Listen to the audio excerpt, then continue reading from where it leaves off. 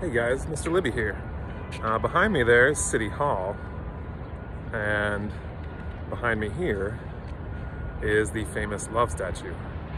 Uh, this statue was created by Robert Indiana in 1976.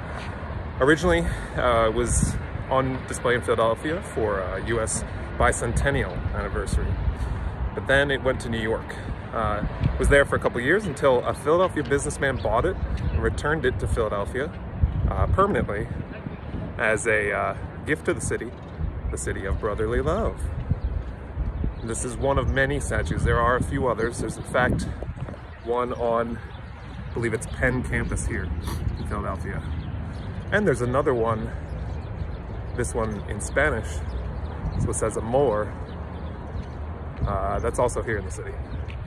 But there you go, Love Statue by Robert Indiana.